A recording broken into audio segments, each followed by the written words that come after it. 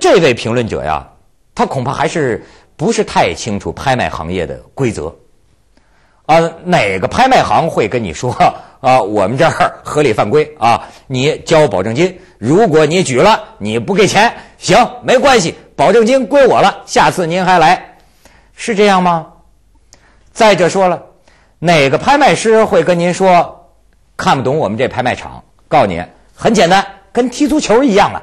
跟足球场上一样，大家都合理犯规，恐怕也不是这么档子事儿，反而是我听到有些 拍卖行业的这个专家曾经痛心疾首的跟我这个感叹，说当前中国的这个艺术品拍卖市场为什么搞得这么样的乌烟瘴气？正是因为有某些人把这个中国足球的精神带进了拍卖场里，这个。也算被此一说啊，意见之一。那么关于这个智慧呢，也有说这个反方观点，也有一篇著名的这个网友的评论。这这网友评论也讲了，说对这个蔡明超啊，拳拳爱国之心很仰慕，但是呀，老老觉得什么地方有点不太对劲。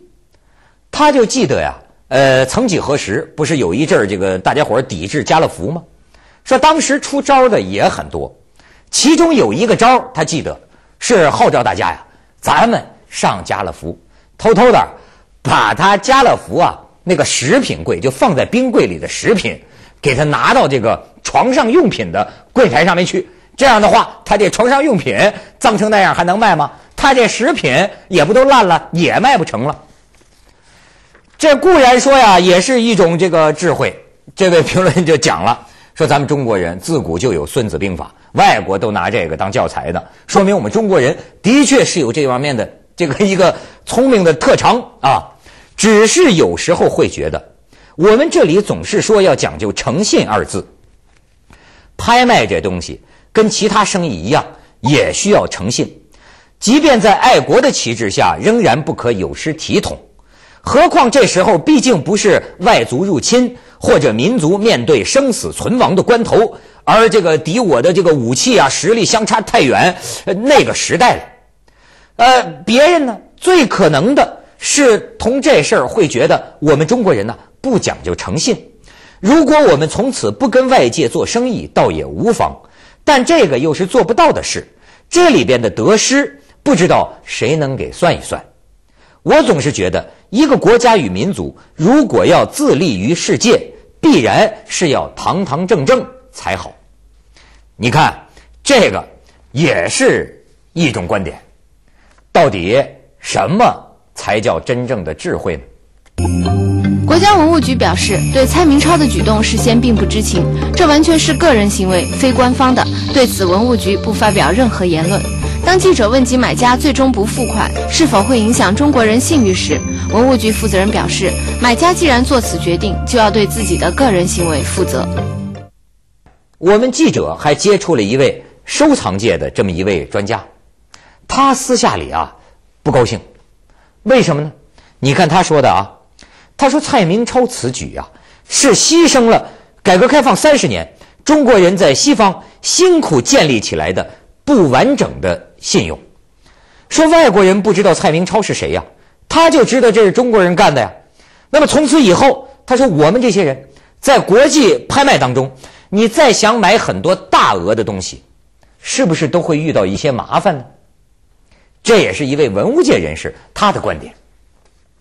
总之啊，现在的这个观点呐，那是太多了。你看，听说蔡明超啊不付钱。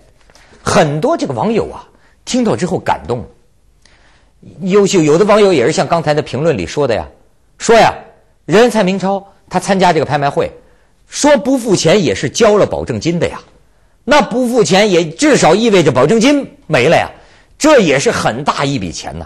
那蔡明超也是很大的一份个人牺牲啊，为了挽回我们这个文物。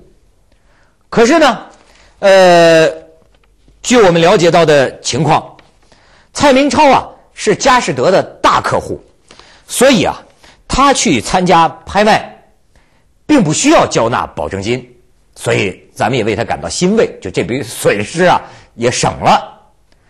当然，法国有法律，根据法国刑法规定，参加竞拍但最终拒绝付款者将被判处二点二五万欧元罚款和六个月的监禁。不过呢，蔡明超人在中国呢，你法国这笔官司你怎么打呀？所以说呢，这也是个未定之数。但是，甭管怎么说，蔡明超本人为了干这件事儿，也确实是付出了代价呀。什么代价？你想，咱甭说说说说保保保证金那不提了，人家讲啊。他以后还怎么在这个古董收藏界混呢？呃，别说别的了，至少丢的是他个人的一份信誉吧。这个也算是人家蔡先生付出的代价呀。当然，现在也还不能定准说蔡明超就是买了东西不付钱，因为呢，按照规定啊，他这个距离最后付款的期限，实际现在看呢，还有一段时间。就说这个事情啊，还有可以呃周旋的余地。那爱国的蔡先生应该怎么办？那很多网友支持他呀，帮他支招。像这有的网友就说了，说这个不付钱呐，其实还可以有很多理由。你比方说，你说你这拍品啊有瑕疵啊，呃，再比如说拍卖行对这个有关拍品描述不实，再比如说。你这拍品啊，我怀疑它来历不明，等等理由。反正啊，还有一段时间吧，大家安慰蔡先生，总有办法，靠咱们的智慧，总有办法的。那么，到底有没有办法？没法猜。这个事情下一步会怎么样？咱们拭目以待。但是这事儿引起的讨论呐，那不光中国聊啊，法国都聊。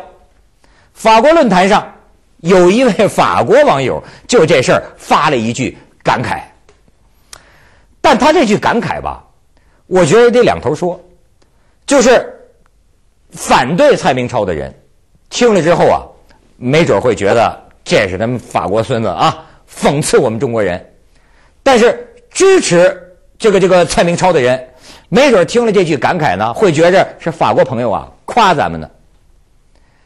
这是一句什么话呀？就这法国人呢，他由衷的感叹了一声：“中国人呢，太聪明了。”